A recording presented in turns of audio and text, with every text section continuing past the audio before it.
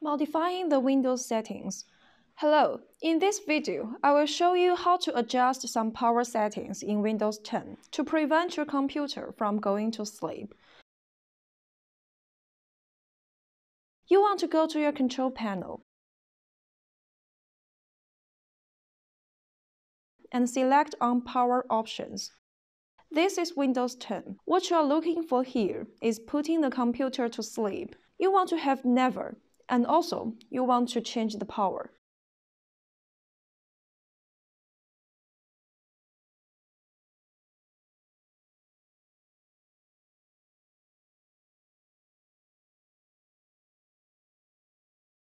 Look at your power settings here.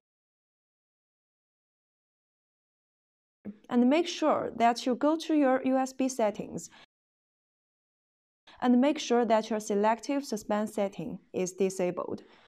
You do not want individual ports to fall asleep on you, so you disable that and select OK. So that is the particular setting.